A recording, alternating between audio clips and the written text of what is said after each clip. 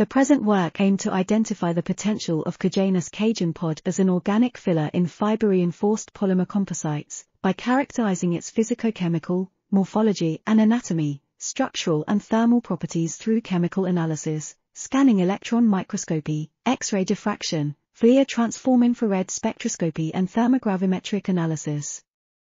The results showed that the pod fiber has a diameter of about 100 m, is composed of 59.15% cellulose, 10.43% hemicellulose, 21.59% lignin, 0.49% wax, 3.05% ash, and 5.29% moisture content, and has a thermal resistance of up to 274 degrees Celsius.